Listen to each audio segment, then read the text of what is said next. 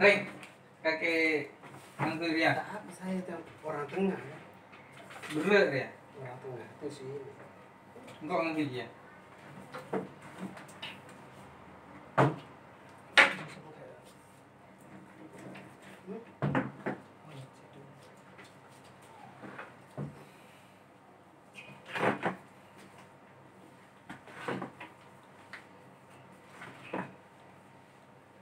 Oke, udah dari mana? Hmm? Sini. Rekam lah nanti nih. Hmm. Sudah jalan sini. Kilo kamu ada reman lain sih, pasal Apa nanti saya potong? Saya edit, edit. nanti.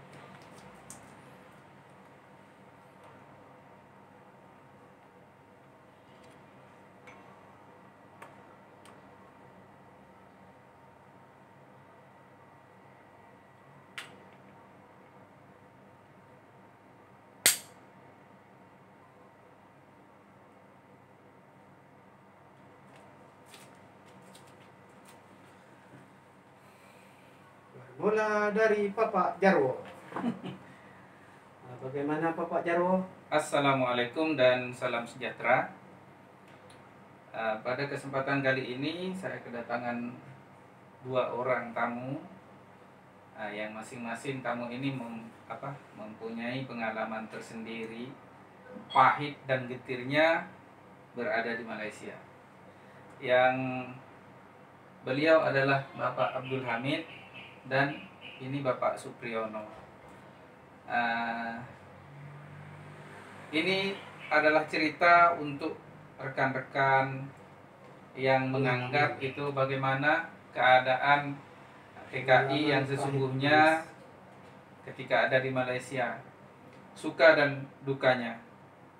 Lebih ah, dan mereka berdua ini mempunyai pengalaman yang lebih banyak dukanya ketimbang sukanya Nah, itu kita mulai da- dari Bapak Supriyono. Bapak Supriyono, Iya, Pak. cerita ke Malaysia ini pertama kenapa Pak? Kalau saya pergi Malaysia sini dari awal muda pertama, Mhm, ya memang anak ekonomi.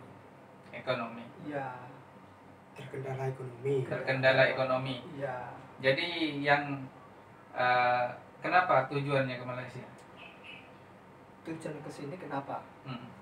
Intinya. Intinya ya saya ya, Enggak, yang pemikirannya kenapa harus Malaysia itu? ya Kenapa enggak di kampung saja cari? Semua memang cari rezeki kan? Iya, Tapi memang. kenapa di Malaysia? Iya. Kalau saya kalau di kampung memang sehari-harinya itu kerja di kebun sawah Mhm. tapi memang sawah itu kan kadang-kadang kan banyak hama. Lagi penghasilannya pun kurang. Lagi pun punya saya untuk sawah bukan saya punya sawah sendiri. Saya di kampung ya kerja di sawah tapi disuruh orang untuk kerja di sawah. Iya. Itu latar, latar belakangnya. Yang kena maksud saya yang saya tanyakan kenapa inisiatif pikirannya itu ke Malaysia? ya. Kenapa tidak ke Jakarta, ke Medan? ya memang kalau di sini di Jakarta memang di sini di Malaysia ini kalau cari kerja gampang senang Tahu dari? ya tahu dari kawan-kawan Ah itu dia maksudnya iya tertarik dengan kawan. iya Ya. Terus saya dengar di sini Bapak pernah ini gaji tidak sesuai atau gimana? kalau gaji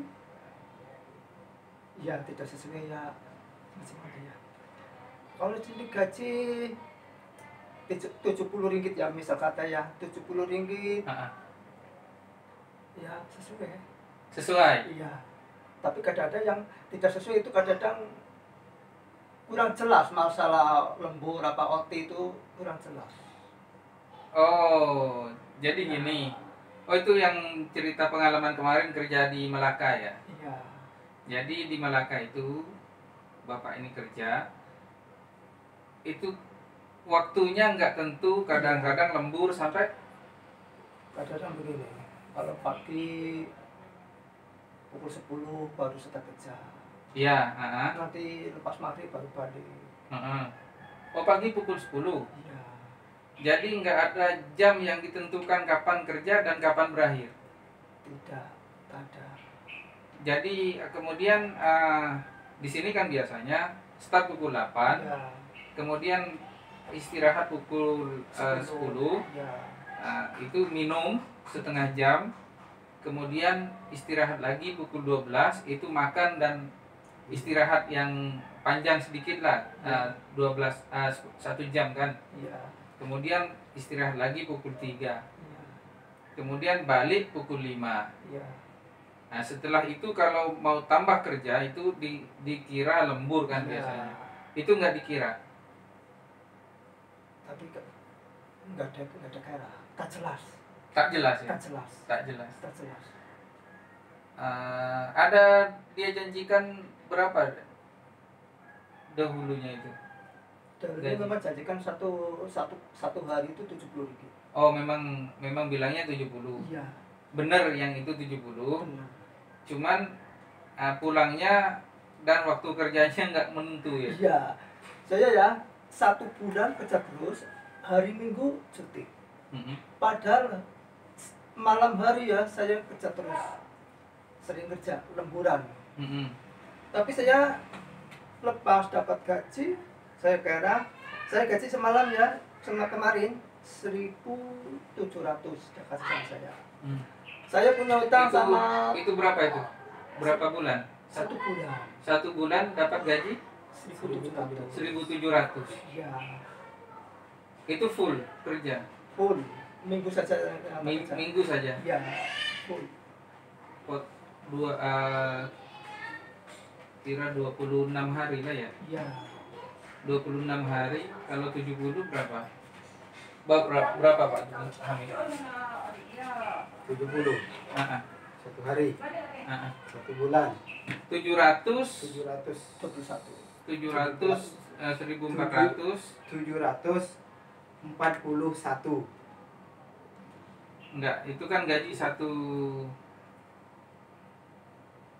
10 hari gaji tu- 700 sebenarnya kan? 41 oh kalau 10 hari 700 700 10 hari 700 ah, ah, 700 Ya, kalau 30 hari maknanya tiga kali tiga kali tujuh berarti 21 2100 ringgit.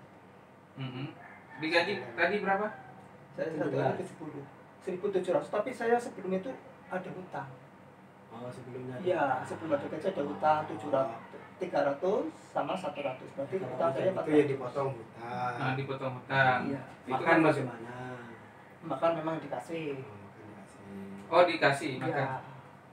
ah yang tidak sesuainya itu apa? Di di bidang apa itu? Maka yang tidak sesuai itu masalah kerja. Kerja itu dari bidang jam. jam 10 jam 10 kerja itu sudah pening kepala. Biasanya saya ke Cina itu jam 5 kerja. Hmm. Oh jam 10 malam? 10 pagi. Jam 10 pagi? Iya 10 ke- pagi baru start kerja. Ah, ah, nah, nanti makan siang pukul 2 ah, ah. Nah, nanti petang pukul 5 baru minum. Minum minum rehat. Pukul 5 ya lebih kurang pukul 5 itu minum rehat. Itu orang-orang sudah balik kampung semua Ah. sudah pas pas mau ba- mau balik saya masih kerja masih minum-minum. Ah, ah. Nah, terus balik nanti lepas maghrib kadang-kadang ada maghrib pun tengah kerja itu saya yang kurang kurang pas kalau ada maghrib tengah kerja kurang pas lah ya? Iya kalau ada maghrib Allah Akbar Allah Akbar. Tengah cuci tong lagi kerja. Itu saya memang kurang kurang. Oh tapi kan kiranya satu hari juga. Cuman geser dari Iya. pukul 10 start dia balik pukul 7 iya ada perbedaan jam lah. Ada perbedaan jam saja. Dan istirahat istirahat istirahat dari kerja itu. Mm-mm. kalau biasanya kalau itu ada sambungan lagi kerja sana kerja malam bikin apa bikin apa sampai pukul 12 malam. Oh setelah pulang? Ya lain lain tempat sini sini tempat sudah balik. Oke di sini sudah pulang. Ya. Dipanggil kerja di tempat lain? Ya. Dan itu nggak dikira?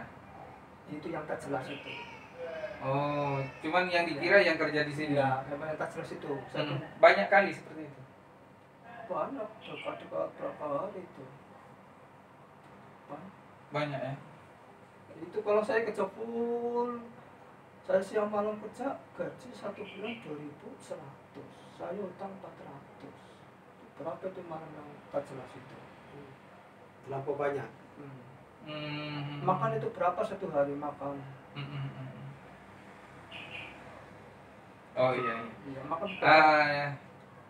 lebih kurang lah itu. Iya. Tapi memang yang nggak jelas itu yang dipanggil kerja tempat lain Iya. dan itu gajinya dikira berapa nggak tahu ya, nggak pernah ada Iya, kejelasannya. jadi oh, jam satu jam berapa berapa berapa saya pun nggak tahu itu aja ada kawan saya pun tak tahan maksud itu dua minggu terus balik ke sini kan Oh kawan, ya kawan saya dari Jawa Mm, maksud itu ikut saya oh, dipanggil? ya ikut ikut ikut saya Iya iya iya dipanggil lah Iya. ke situ kan. Ah, kerja dua minggu tak tahan sama saya kamu boleh tahan sini ini terus ini kerja saya tak boleh tahan iya tak boleh tahan tak apa saya, saya tahan saja nanti saya mau pulang itu saja sudah Hmm. saya pertahankan saja di sini saya Hmm. kuat saja itu saya Hmm. sampai pulang nanti bulan puasa alhamdulillah sampai sekarang sudah Kemarin saya tanya, tapi jawabnya gimana gaji semua oke bilangnya. iya kalau yang di Melaka yang di Loji Air oke Yang di Loji Air Iya, oke dapat gaji 70 semua oke. yang di Loji Air 100 Oh 100. iya satu hari satu ratus oke Oke. oh, dikasih Oh, yang yang tak oke di mana ini? ya di sini yang yang last ini yang terakhir Ya terakhir. Ya, terakhir kerja memang. langsung terus pulang inilah. Iya. Oh. itu ya kalau Dengan dia- datuk satunya. satu satunya Iya ya kan dengan Yang- datuk yang satunya. terakhir, yang terakhir. Yang terakhir ini kan datuk satunya. bukan itu orang lain Oh orang lain. orang lain satu satunya sama-sama ikut saya kerja jadi kondisi sama-sama jadi kuli Mm-mm. itu apa sama Mm-mm. itu orang lain Oh, ada tahu juga? Bukan, bukan. bukan orang lain Yang di Pagok? yang di Pago sama Datuk Iya, iya itu oke. oke Ha-ha. Terus saya dengar ada gaji apa uh, makan yang tak dibayar? itu saya dengar-dengar itu begitu tapi tak tahu yang sebetulnya Mm-mm. Itu yang tak yang tak bayar itu Anda apa bos Anda? Kalau saya memang bayar tapi bosnya yang Oh, bagaimana. bosnya yang tidak bayar gitu. Kalau Hmm. Anda sudah bayar gitu. kalau saya memang sudah tanggung dia Hmm, iya iya iya. Oke oke oke. Bapak Hamid, Iya. sudah berapa lama di Malaysia, Pak? Kalau saya itu ya lumayan lama juga. Lumayan lama. 10 tahun. Kurang lebih kurang lebihnya ya seperti itu. Sekitar 10 tahun. Eh, kan saya dengar Bapak sering merantau ke sana kemari kan ya? Nah, kalau di Indonesia itu memang saya sudah terlampau banyak saya alami. Mulai dari Sumatera Mm-mm. sampai Sumba, Sumbawa, Sumba itu di mana? Bagian NTT. NTT, Sumbawa, Beres. Sampai saya terakhir itu saya di. Palangkaraya. Sumba, Sumbawa itu lain. Lain. Flores, Flores. Palangkaraya. Flores, Flores ini sudah masuk Sumba ini, Sumba ini sudah Flores. Dari Kalau dari Sumbawa, Mm-mm. Sumbawa Bima dulu. Mm-mm. Bima dulu baru ke Sumba. Mm-mm. Di Sumba ini ada dua dua dua provinsi, eh dua, dua- bukan dua provinsi, dua kabupaten. Mm-mm. Eh, Wengapu, Wekabubak, Mm-mm. gitu. Ada dua kabupaten. Nah, di situ saya sudah keliling semua itu. Waduh, itu umur dari umur berapa, Pak? Saya mau saya start ke Sumatera itu mulai saya umur Mm-mm. 13 tak salah. 13. Lulus SD. Baru lulus SD.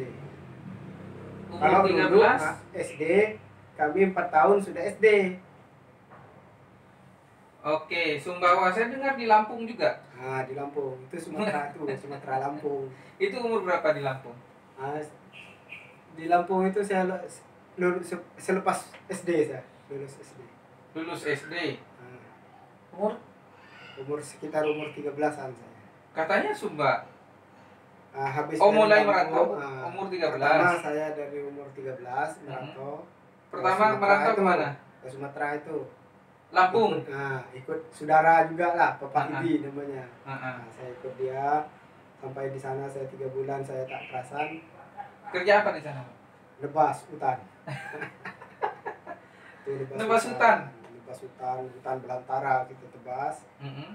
Janjinya itu satu satu orang dapat 5 hektar. Nah, karena Maksudnya janjinya dapat 5 hektar kan? Nebasnya dapat kan berapa 10 hektar, 10 hektar, Mm-mm. nebas 10 hektar kita dapat 5 hektar. Oh. Setelah ditebas, Mm-mm. setelah ditebas 10 Mhm. hektar, Mm-mm. kita dalam satu orang dapat 10 hektar, Mm-mm. kita cuma dibagi 2 hektar. Jadi Pak Idi pun mundurkan diri pindah ke Lampung Tengah. Oh yang bagi itu bukan Pak Idi. Bukan, bukan Pak Idi. Pak Idi cuma mandor.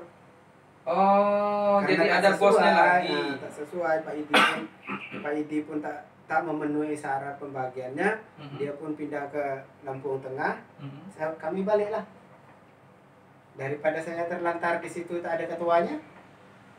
Oke, apa? yang bawa itu Pak Idi, dia Hmm. selaku mandor Selaku mandor. ah, dan pergi sana tebas hutan. Bos hutan. Yang janjinya kalau dapat 10 hektar di- dibagi 5 hektar. hektar Pak Parwan. gitu. Paruan Nah, gitu. Kalau Pak berarti kalau kit saya dapat 5 hektar dan otomatis Pak Pak Edi kan dapat satu hektar. Kami. Oh, gitu. Bagian mandor kan satu. Mandornya dapat sehektar, Hmm, yang pemi yang nyuruh itu yang bukan mandor itu dapat 5 lima hektar, hektar. yang nebas dapat hektar. Hmm, Berapa orang di situ? Satu hari. Sekitar 16 orang di sana. 16 orang. Tapi orang di mana- dari mana-mana pun saya nggak nggak ini kan saya masih kecil lagi waktu itu. Dalam tiga bulan itu dapat berapa hektar? Saya tiga bulan itu ngam-ngam dapat 10 hektar. Itu pun saya Seorang? masih masih rehat ada lebih kurang seminggu itu Ya, satu satu orang itu. satu orang Kalau 16 orang semua dapat 10 hektar itu. 10 hektar. Dalam satu orang harus dapatkan 10 hektar. 160 hektar ya. Tiga bulan itu. Tiga bulan. Uh. Kalau ada bunyi gajah itu yang saya tak- paling takut itu. mm-mm. Bunyi gajah atau bunyi harimau. Memang kecirit-berit dari berisik. Terus malam gimana itu tidur? Nah, kalau malam nanti diangkut, Hmm. diangkut dibawa ke, penginapan, Mm-mm. ke tenda apa? Ada pengungsian. nah, pengungsian. Nah, tempat pengungsian kalau malam. Seperti kongsi di sini itu, bukan? Bukan tenda. Tenda. Nah, Seperti orang kemah itu. Betul itu. Kan nanti kalau sudah kita sudah tebas, sudah bersih, di situlah kita buat tempat sendiri. Hmm. Cucuk tanam. Alasannya nggak betah kenapa? Yang itu janjinya nggak sesuai itu. Nah, saya buat saya tak betah itu nomor satu janjinya pun nggak sesuai.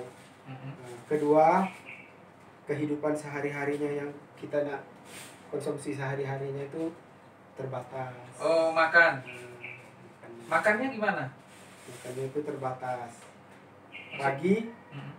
kita makan dulu di bangsal rame-rame di tempat pengungsian itu rame-rame. Ya nanti sampai malam satu kali. Ya siang itu Oh. seadanya. Ya kalau kita dapat kelapa, ya kelapa yang kita kebas. Hmm. Kalau dapat ubi, ya ubi yang kita Waduh, makan. itu yang buat tidak betah Nah, ya. itu yang buat kita tidak betah. Selain janji yang tadi tidak Yang sesuai. Selain janji tidak sesuai. Nah, Oke. Setelah itu saya pulang duduk di kampung satu minggu Mm. sudah kayak orang lindo Mm. Berangkat lagi. berangkat lagi ke Siapa yang ngajak? Ikut tak siapa itu? itu tak ada orang ngajak saya Kok pikirannya? saya dari dari dari rumah tuh dari Katot Mm. saya naik trek ke Kumbangan Kumbangan saya naik trek lagi ke Namira Truk ya. nah, naik trek ke Namira Mm-mm. dari Namira itu saya naik bis Ke ke Bliga Blega. nah ke Blega Mm-mm. naik bis ke Blega dari situ saya Ada bis dulu ya. ada ada bis Heeh. tapi naik ke Briga dulu kalau dari Namir, Tanah Merah itu tak ada yang untuk ke Surabaya Hmm. nah, di situ saya naik ke Briga dari Briga saya naik ke Surabaya naik bis itu saya numpang Bukan. Dari Tanah Merah, ini kan Blega, Tanah Hmm. Merah, Surabaya. ya sepatutnya Tapi- kan dari dari Namira langsung Surabaya Ya. dulu kan nggak ada nggak ada berhenti di situ. Oh. nggak ada tempat pemberhentian di situ. Mm, mm, mm, harus ke terminal 3 Mm, situ kan di Tanah Merah kan nggak ada nggak ada ter- terminal. Mm, mm, adanya kan di Blika nah saya pergi Blika mm, saya tanya sama supir boleh numpang nggak? Mm. dia bilang boleh. Waktu itu ongkos ngantong berapa? tak ngongkos saya ngandol. Oh ngandol. ngandol.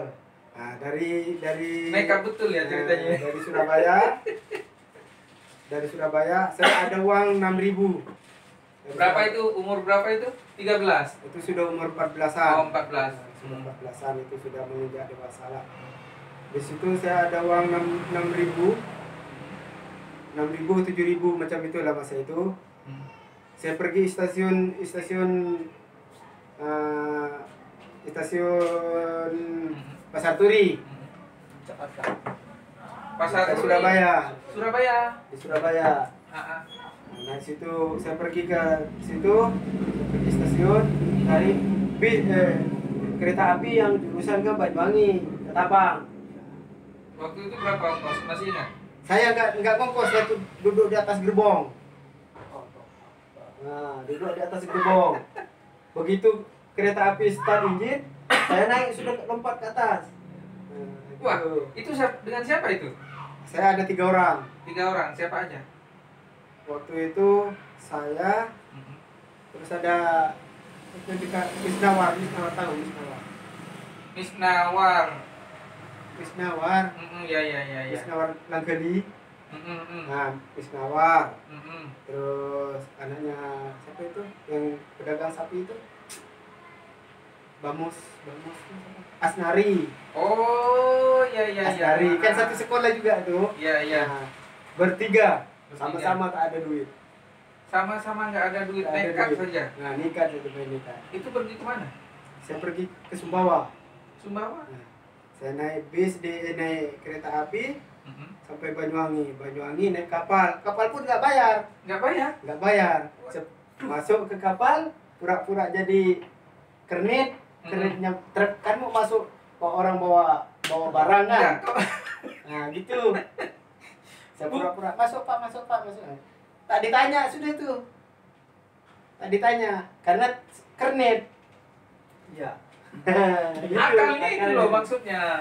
Kok saya akal itu Kok tumbuh akal seperti itu loh? Kok tahu? gitu? akal itu gini saya tumbuh akal macam itu ketika saya dari Lampung saya pulang kan lewat kapal Surabaya Mm-mm. kan banyak kernit-kernit itu Mm-mm. buat seperti itu ah di situ saya tembak otak oh kalau Ide- begini ide saya itu siapa? nah, Ide otaknya itu siapa? Pak saya Ah, saya sendiri berpikir Yang dua ngikut, yang dua itu cuma dia, ngikut. dia di rumah dia ikut saya Ah, iyalah, Saya. ide itu Hmm. ini pura-pura jadi kernet itu Ah. komandonya bapak ya. saya Ah,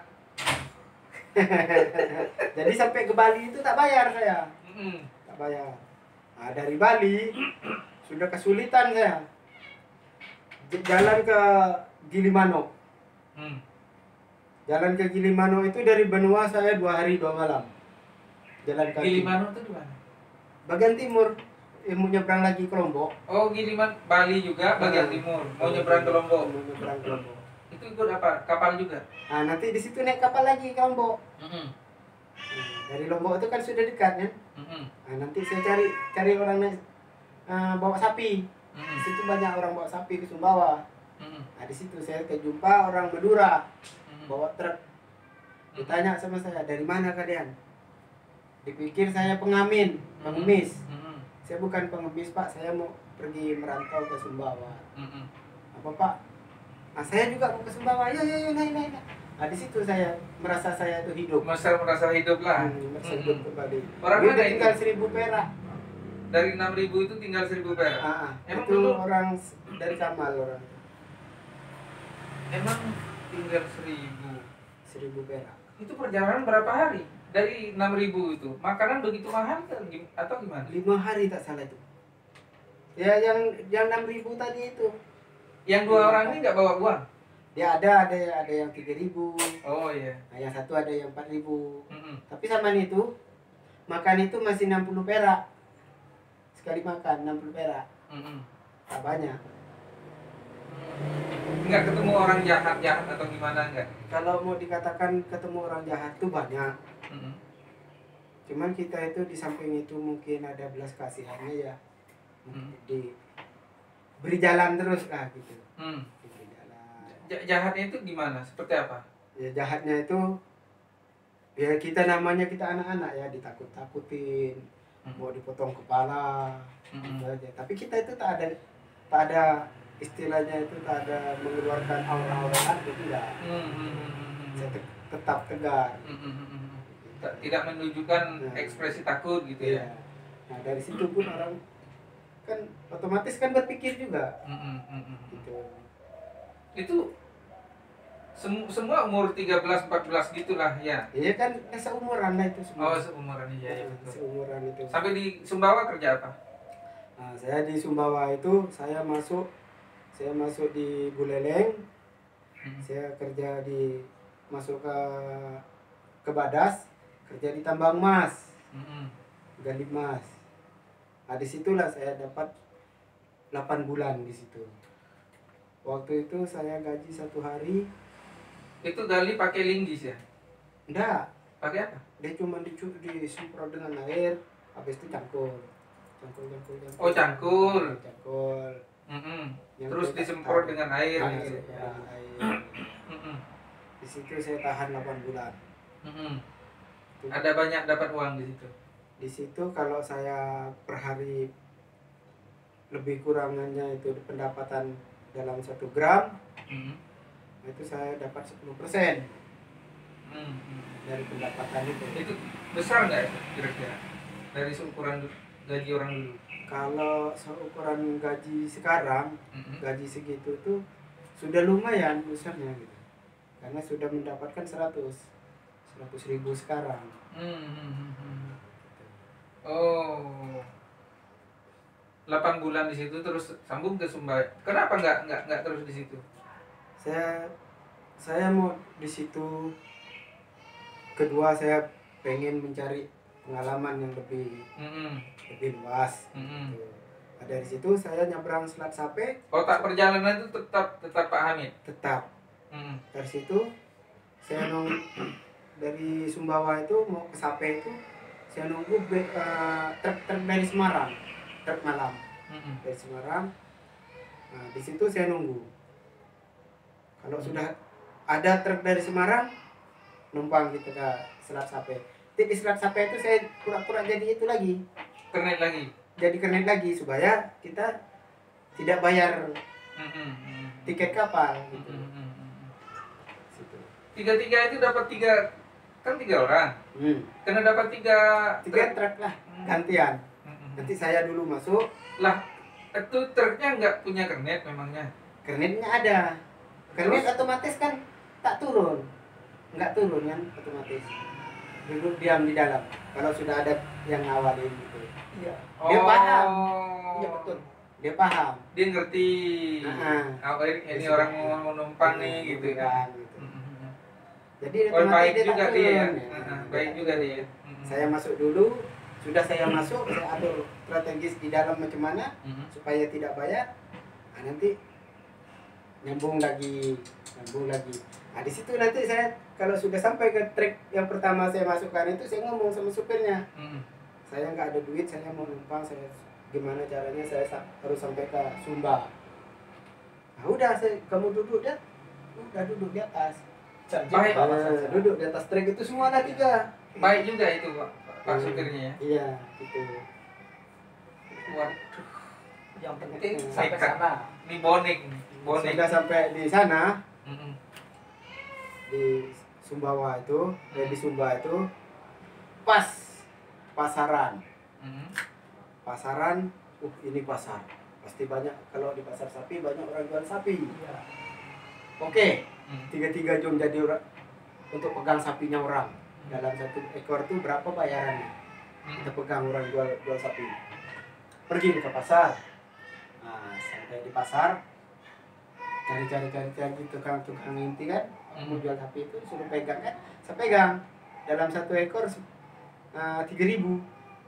Oh. sudah terlampau besar itu sudah. Iya iya besar lah nah, sudah besar. Zaman dulu kan. Nah, enak ini kerja macam ini saya cakap Ah. saya cakap dengan kawan-kawan Ah. enak macam ini oke Mm-mm. kita bertahan dulu di sini kerja macam ini Mm-mm. Itu di kadang-kadang Sumba. ah di Sumba itu kadang-kadang saya sampai dapat tiga tiga ekor Oh sepuluh ribu ya. ah ada sepuluh ribu Oi. itu udah lo- makan apa udah mewah itu waktu Ah, ah, masa itu ah, ah.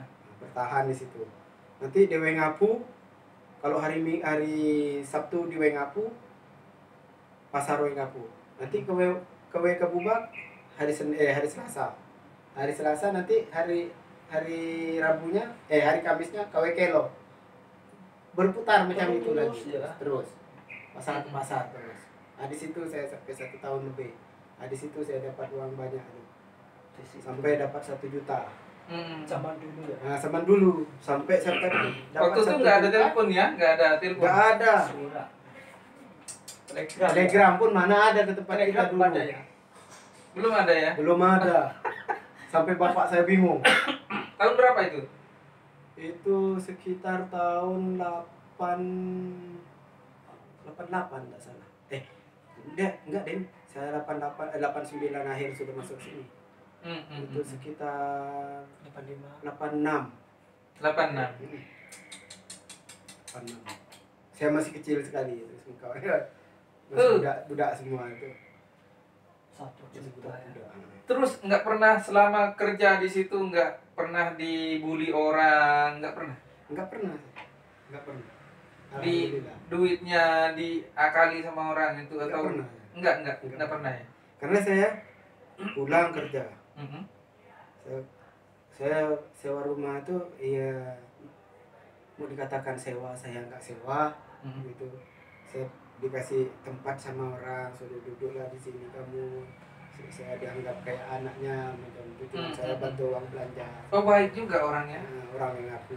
Nah, Waktu di mana di tadi sebelum Sumba itu Sumbawa nah, Sumbawa. pun sama juga seperti itu. Ah, di Sumbawa itu di rumah kongsi. Oh, Gong. Cuman di rumah kongsi itu kayak makan apa itu karena di sawan di sana tuh persawahan banyak, Mhm. Tegal pun banyak, itu makan saya terjamin di situ. Hmm, cari sendiri Nah, di ladang gitu bukan atau gimana? terjaminnya itu kayak beras itu memang sudah distokin gitu. Biarpun beras jagung gitu Mhm. kan di sana tuh makannya kan favoritnya kan nasi jagung. Nasi Nah, jagung, ya. Nasi jagung ya. Biarpun nasi jagung, nasi jagung lah gitu yang penting hidup. Kalau se kayak sayuran itu itu sih gampang saja itu banyak banyak iya. pokok ubi Iya, Hmm, cari hmm, pokok ubi itu kalau kadarnya kita rebus buat ceni gitu aja. Setelah itu dari Sumbawa setahun, dari Sumba setahun, terus ke mana? saya masuk Pulau Ende. Flores. nah, nah, di Pulau Ende itu saya ada yang ngajak. Kenapa? Pergi ke sana? Kan itu sudah mapan itu hidupnya. Ya alhamdulillah di situ sudah mapan sebenarnya. Diajak sama siapa ya? Pak Maklum. Pak Maklum ini Hmm. dia punya eh, perusahaan rumput laut. Hmm.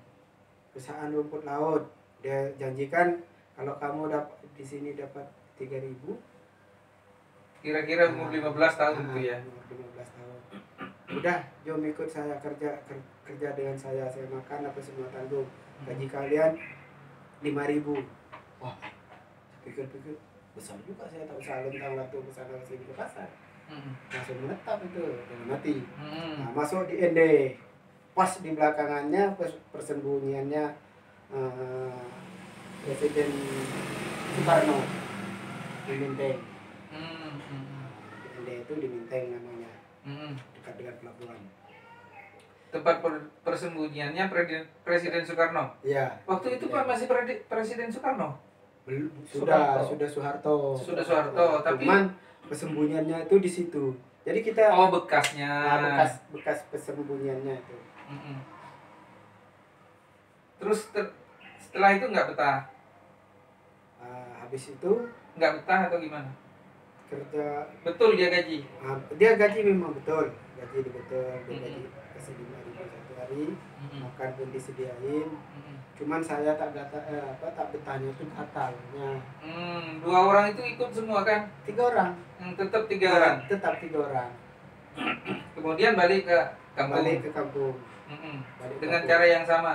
dengan cara yang sama Nggak pernah bayar ongkos. enggak ah, gini yang kedua yang putar baliknya itu Mm-mm. saya lang- dari dari Ende itu langsung saya menuju ke pelabuhan Kedindi di Ende Mm-mm. cari kapal kayu finish kapal Hmm. kayu untuk ke Surabaya Saya tadi Hmm. terpikir itu kenapa? Kenapa? Orang kan biasanya ke Jakarta. Kan? saya cari ke timur Kenapa ke timur? Itu siapa yang segini Mm-mm. kalau ke Jakarta Mm-mm. kalau ke Jakarta ini otomatis kan kota kota Mm-mm. besar Mm-mm. kalau kita nggak ada uang kalau di kota besar ini otomatis kita mati Mm-mm. karena se- sewaktu-waktu harus menggunakan uang Mm-mm. Nah, di situ. Kalau kita merantau biar dia ke, ke timur itu ke namanya ke kampung, Mm-mm. tapi di situ itu otomatis ada petani. Mm. Otomatis kalau ada petani kita hidup. Iya. Entah dari cara apa pun kita mau meng- mau menghidupkan diri kita berjuang untuk hidup kan gitu. Mm-mm. Biarpun dari cara apa. Oke. Setelah itu kenapa ke Malaysia? Nah, setelah itu sudah tak ada cara lain yang mau dikit ini di, di Ya, kenapa itu. tak pikirannya balik ke sana lagi? Pikiran ada ada semua memang ada tapi pilihan terakhir ke sini Kenapa? nah, pilihan terakhir ke sini itu saya pikir kalau saya keluar negeri saya bisa bekerja Waktu itu ada ramai nggak orang ke luar negeri? waktu itu yang banyak kalau di kampung Pandan sini pun orang orang Boyan yang paling banyak Mm-mm. itu. Jadi dengar-dengarnya itu di Malaysia itu oke gitu ya. Gitu ya waktu itu kebetulan saya ada saudara juga di sini. Pulang kemarin tuh dapat banyak uang kan? itu alhamdulillah Alhamdulillah lah. Tapi kenapa udah banyak uang itu merasa nggak betah lagi berangkat lagi? ya gimana ya sudah terbiasa kehidupan di sini sehari-harinya di sini gitu jadi merasa nggak betah di rumah gitu. Gitu. ya kalau untuk liku-likunya di sini itu ya sangat banyak Mm. banyak malah banyakannya banyak pahitnya daripada manisnya Di Malaysia nih iya banyakan pahitnya. daripada manisnya Kok bisa? pahitnya nomor satu kalau kita putus Manisnya dulu manisnya. manisnya kalau kita ada pekerjaan ya kita hidupnya itu Mm-mm. agak happy sedikit senang itu Mm-mm. Nah, pahitnya kalau sudah Gaji Putus. pertama Malaysia, masuk. Malaysia berapa? gaji pertama tujuh eh, masuk Malaysia gaji 17 ringgit itu di eh, penjara Bulujil Bujil, Bulujil Bulujil. Mana itu? ya? Kok nggak tahu saya? di Bulujil Iya. ini di, sebelum sebelum apa ini Mas Lama ini Pudu. Puduraya sebelum Puduraya Oh, sebelahnya tuh kan Bulujil tuh Walah. Tahun berapa itu? itu tahun 91 tak salah tumbangnya menara men, eh, menara yang di Ampang dulu Hmm, tumbangnya menara itu Saya belum ada nih. saya waktu itu tengah nonton Miss Bun Sidik Miss Bun Sidik itu apa? nonton badminton Miss Bun Sidik dulu kakaknya Rasid Ah, ah, abangnya Rasid ah, ah. Nontonnya di mana? di kongsi Ah, Oh di TV. nah, di TV di kongsi itu di Bulujil itu ya saya bu tiap hari saya pulang ke sini pasar Rabu sini Di 17 rumahnya Pak ringgit itu kalau di pulangnya ke sini. Nah, Ah, ah. Kalau ada 17 Rusia di sini juga. 17 ringgit itu kalau dirupiahkan dulu berapa? Wih, kalau mau cari seribu, eh, satu juta itu sakit kepala kita. Harus dekat-dekat kesulitan. dua ribu. Mau cari satu juta. Jadi lebih susah di sini dari daripada di sana. di Indonesia ya. Sama-sama situ. Cuman di sini itu gampang ja, gampang cari kerja itu aja. Karena Hmm. banyak pembangunan. Pengembangan pembangunan itu sudah banyak di sini. Itu, Mm-mm, mm-mm. itu aja. Jadi kita bisa terkumpul secepatnya. Itu aja. Kerja ya ta- berat lah ketimbang di sana ya. Nah, kalau dihitung beratnya itu memang terlampau berat di sini. Karena di sana tadi kan cuman pegang sapi ya. Udah sapi. Orang mau jual sapi tolong pegang kan ya, jaga sapi. Jaga sapi. Tapi yang cangkul itu nggak berat apa yang Yang untuk digali emas itu mau dikatakan berat ya nggak berat sangat. masih berat di Malaysia Nah, lagi. ah. Nanti kan disemprot tuh, disemprot terus air itu sampai sampai keluar semua tanah tuh. Kita cuma tinggal tarik-tarik aja kan, memasukkan ke karpet itu. Mm-mm, mm-mm. Di karpet itu pun disiram juga air juga. Terus terus didulang ya di dulang. Di dulang. Bagian dulang lain. Gitu. Terus dukanya apa? Manisnya belum. Manisnya apa lagi? Kalau di di sini atau yang di sana? Yang di sini. Kalau yang di sini Kan katanya di Malaysia ini banyak pahitnya ketimbang manisnya. nah, Mm-mm. main- manisnya itu gini. Tapi paling lama di Malaysia. Iya memang paling lama saya di Malaysia. Tapi banyak pahitnya. Pahitnya itu begini. ya. Pahitnya ketika kita putus kerja, Mm-mm. kadang sampai satu bulan gitu. Mm-mm. Nah di situ pahitnya. Mm-mm. Karena penghasilan yang yang lepas itu sudah ma- makin mengurang kan gitu. Hmm. Nah di situ letak pahitannya. Ikut siapa dulu ke ke sini? Saya ke sini dulu sama Bang Haji, Bang Haji Sarimin Mm. sama almarhum Bibik gitu. Mm. Dua kali. Nah, dua kali. Habis itu saya di sini duduk juga sama saudara Mm-mm. si Ruskia. Mm-mm. Mm-mm. Nah, yang suaminya Markodi. Oh iya iya iya. Oke. Eh, Berangkatnya itu saya sama-sama dua eh, tiga orang dari rumah itu saya. Paman Su- Suat itu, Mm-mm. terus apa itu lagi? Adiknya Haji Sarimin itu, Iya iya. adiknya Haji Sarimin itu. Mm-mm. Nah, itu Kemudian di pahit. Manisnya apa lagi? Ya itu aja. Senang kerja. Nah, Eh, apa manisnya itu kalau pas ada kerjaan kita happy Senang dapat kerja lah ya. senang. Pilih-pilih kerja banyak lah. banyak Mm-mm. Pahitnya. pahitnya itu kalau sudah putus kerja itu ke sana bingung sini bingung nggak tahu yang Mm-mm. ini kan Pernah nggak Nah, dibayar kan gaji? kecuali macam orang ada toke macam itu kan kita kan nggak kita kerja persorangan Mm-mm. Pernah nggak dapat gaji?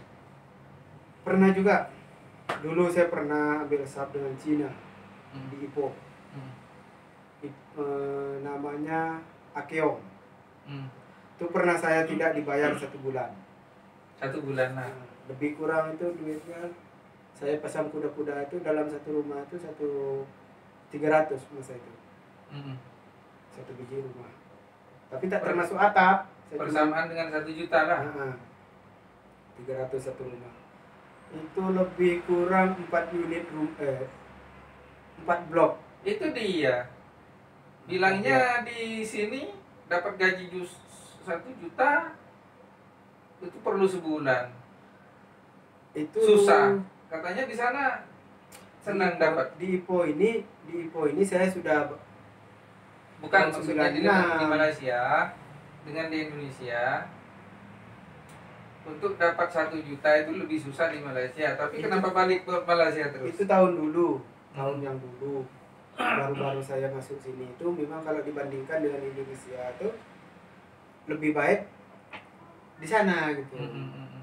nah, habis itu saya kerja di sini satu tahun pulang saya ada duit waktu itu Tapi se- sudah pecah dengan tiga orang itu ya. Mm, sudah pecah saya sudah pecah saya sudah masuk ke masuk sini di sini kerja satu tahun habis itu saya pulang. Mm, habis itu saya masuk sekolah. Sekolah lagi saya. Mm-mm. masuk SMP Mm-mm. SMP tiga tahun. Masuk di Sudah putus berapa tahun? lama. Eh, masuk lagi. Masuk sekolah. Mm-mm. habis itu tiga tahun empat tahun kemudian saya masuk lagi ke sini. Katanya orang gaji di sini udah oke udah eh, udah main 30-an katanya. Oke. Udah 30 berarti. Sekarang ekonomi udah kayak gini dalam hati saya tahun 96 tuh Mm-mm. udah hancur kayak gini berarti. Banyak lah ini dalam hati saya. Mm-mm. nah saya masuk lagi. Mm-mm. masuk lagi ke sini tahun 96 Mm-mm. masuk sini lagi. Itu saya dari sana itu ikut bus sampai ke Bengkalis saya Nggak bayar lagi. dari Surabaya naik bus ke tak itu bayar Oh bayar. nah, itu bayar dari Surabaya saya naik ke Dumai Dumai saya nyebrang Bengkalis Bengkalis baru saya ke sini Mm-mm. itu Jalan sendiri. tak Oh ada ini. waktu itu saya dengan Misli Hmm, ada tekongnya juga lah. tak ikut tekong Tak ikut, ya jalan sendiri lah. nah, jalan sendiri dia dua saya dua orang dengan Misli Misli itu kan Hmm. sudah keluar masuk dulu dengan sapu dengan eh, abangnya itu dengan sapu itu Hmm. keluar masuk keluar masuk oke saya janjian di Kumbangan. Dulu dia masih di di mana namanya? Mm. di Yuni dulu ya rumahnya dia. Janjian oke nih nanti jumpa di ini. Kan ada sandur dulu. Malam sandur itu saya jumpa dengan dia Li. Kita pergi ke Malaysia. Ya saya pun ada mau mau pergi juga. Ini begini gini gini. Ya sudahlah. Janjian udah oke saya ada duit. Dia bilang itu kau ada berapa? Saya ada rantai mama saya saya bilang. Itu Hmm. yang saya incar. Mm. dia bilang gitu. Itu saya beli, saya juga yang beli. Oke nanti saya mau pinjam sapinya bapak saya. Sini. Mm. pinjam lah. Sapi bapaknya itu dijualkan sama bapaknya. Mm. dapat 600 Mm. 600 ribu sama dulu. Mm. oke kita pegang duit 600 saya pun dah pegang duit 500 berangkat jom berangkat Oh, dari awal pertama itu modal 6000 ke sana ke semana ke sekarang dapat modal 500.000. dapat 500 Iya. Ya kalau gitu sebenarnya di Malaysia ini deritanya kurang. Hmm. habis itu kerja satu tahun saya kirim dengan mama saya Mm. Dah lebih daripada itu. Boleh mama saya tuh kan senang perhiasan, bawa beli gelang. Mm. Sisanya buat kalung yang saya bayar utang itu. Mm. Nah, dah senang lah dia. Habis itu dulu kan dah ada telepon, Mm. pakai telegram. Mm. Saya minta alamatnya. Oh, Alamatnya toke. waktu di sana nggak ada telegram sampai tapi sampai di sini ada sudah ada telegram ya. Nah, nah, dia kalau kalau mau ngirim surat itu Mm. pergi ke rumahnya saudara saya di Surabaya. Gitu. kalau tak pergi rumah Pak Mul. Cuman Pak Mul kan sibuk udah dinas. Pak Mul kan abang saya tuh yang abang sepupu saya yang pertama tuh kan polisi di Kamal situ dulu di Telang. Nah, kalau tak dia lah yang yang pos. Nah, itu. Iya, iya. Perjalanan hidup hidup saya itu terlampau Komplek- daripada komplek ya. manisnya itu banyak pahitnya. gitu. Nah, komplik istilahnya orang sakit itu komplikasi sudah. Iya, komplikasi. Dapat istri orang Medan tuh kenalnya di mana? Nah, dapat istri orang Medan itu begini ceritanya. Dulu saya Mm. pernah saya KKL di waktu saya masuk di akademi pelayaran tuh saya KKL di Pernah per- ikut pelayaran juga? Banyak bener nih. naik Apa saya kapal pelayaran? naik kapal kapalnya itu namanya multi eh, eh Waikelo Indah Hmm, hmm, hmm, hmm, hmm. Itu pelayaran tuh tujuannya di ke mana itu? itu cuma untuk NTT sampai ke Oh dalam negeri. dalam negeri Hmm. Itu setelah di Malaysia. nah, itu tahun 2000 2005 eh, 2005 2005 tahun 2005 Hmm, hmm. umur 31 saya masuk akademi Mm-mm. sudah tak ada cara cara lain saya mau masuk SMA tak mungkin Mm-mm. ya kan mau masuk SM, mau masuk STM tak mungkin sudah 30 lebih umur saya tak mungkin tapi saya harus saya mendapatkan pendidikan. Pendidikan. Mm-mm. oke. Saya pikir-pikir saya pergi ke kawan saya di Lantamal. Mm. di Lantamal itu ada kawan saya masih iparnya. Iparnya abang eh, abang saya yang jadi polisi ini. Mm. dia jadi airut di situ. Oke. Kalau kau macam itu daripada kau macam ini kamu masuk ini. Nah, di situlah saya saya jumpai guru itu saya bincang-bincang oke begini begini begini persyaratannya ini ini ini, ini. ijazah terakhir apa semua saya serahkan Mm. oke saya masuk di situ dari semua perantauan ini Malaysia, Sumba, Sumbawa, Flores, Lampung itu paling berkesan tuh pengen ke sana lagi kalau ada kesempatan itu ke mana? saya paling paling berkesan lagi saya pengen menjenguk tempat saya pertama. Di Lampung saya ada rezeki lah. Yang di Lampung itu. Yang di Lampung iya iya. Yang di Sumatera. Banyak teman teman-teman kita tuh di Lampung. banyak. Yang yang bareng dengan Ken- kita kenal itu, dengan orang-orang di kampung itu di sana. tak- itu tak tak sempat kenal